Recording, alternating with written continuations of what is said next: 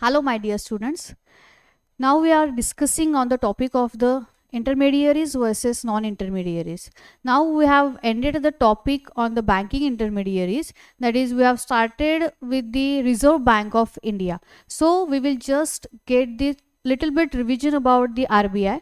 Uh, so the RBI has been started on the date of that is existence come into the on the 1st April 1935 as per the Reserve Bank of India Act 1935 and the it is gets the original that is originally privately owned since the nationalizations on the date of the 1949 so that's why the RBI is fully owned by the government of India.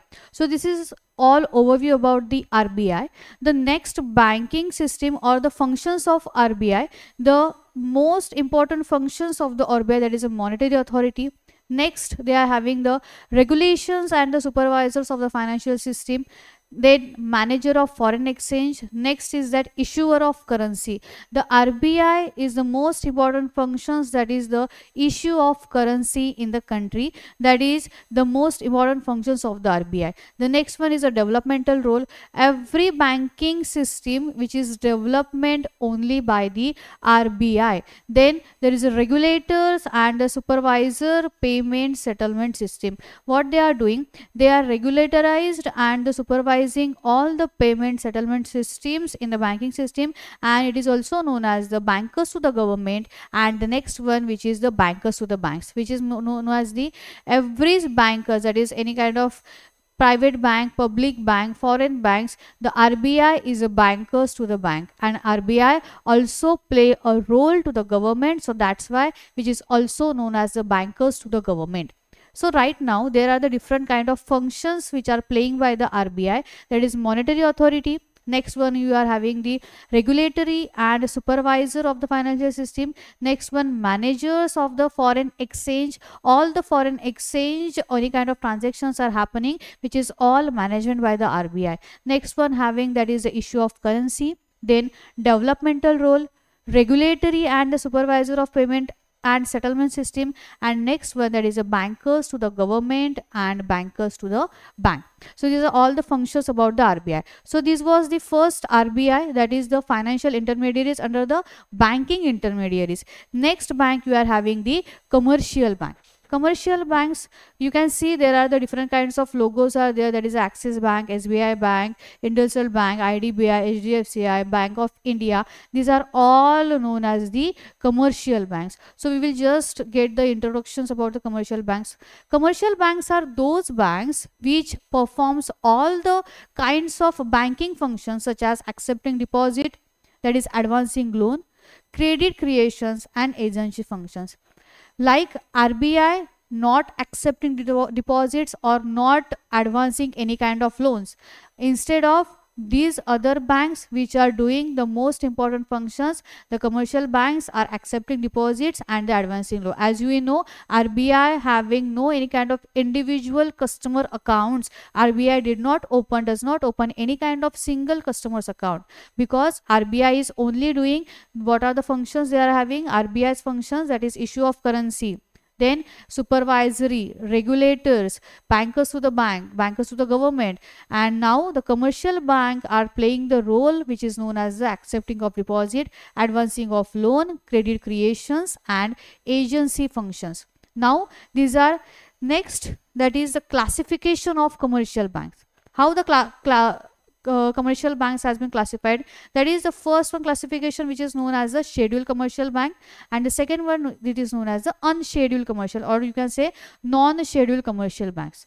Scheduled banks then is divided into the four parts. That is the public sector banks private sector banks foreign banks regional rural banks. So these are the main classifications about the all scheduled banks. And then the further classification has been done by the public sector banks are classified into two parts that is the nationalization of banks and state bank and its associations. And then the private sector banks are known as the old private banks. There are some new private bank but the most important classification which is com scheduled commercial banks non-scheduled commercial banks and then scheduled commercial banks having the four parts that is the public sectors, private sectors, foreign exchange and the regional rural bank. Now one by one we will having the uh, before we move toward the next bank there are certain functions of commercial banks functions of commercial banks as you know commercial banks are doing the normal activity that is accepting of deposit. So the commercial bank are giving the examples of saving accounts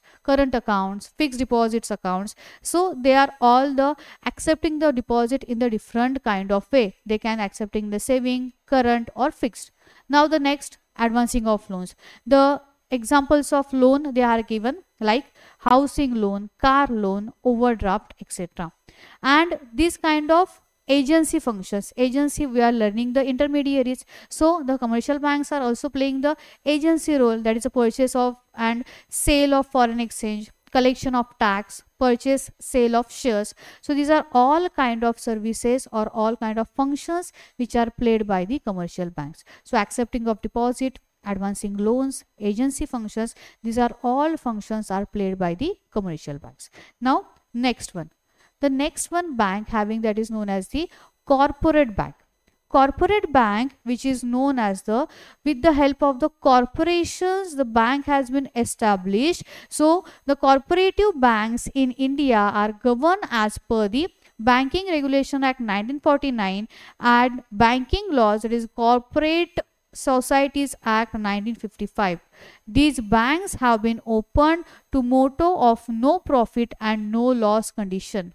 Now, the cooperative banks are those banks which is governed as per the Banking Regulation Act 1949. See, this is Banking Regulation Act 1949. This is the act where all the banking systems are followed, all the rules and regulations to do all certain kinds of normal activities in the banking system. So, cooperative banks are also governed as per the Banking Regulation Act and as per the banking laws which is known as the Cooperative Societies Act 1955 and the most important the motto of the cooperative bank there is a no profit and no loss. Okay?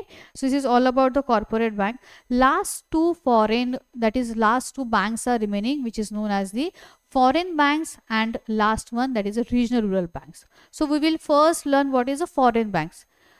What is the meaning of foreign banks?